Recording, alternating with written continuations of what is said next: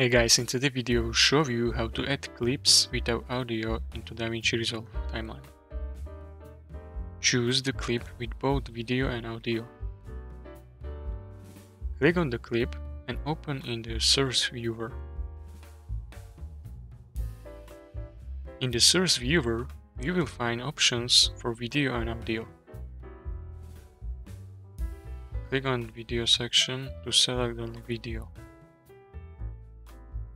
Drag the selected video portion from source viewer.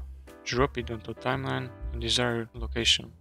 Alternatively, disable audio source. Navigate to source controls panel in the timeline. Locate the audio option and click to disable them.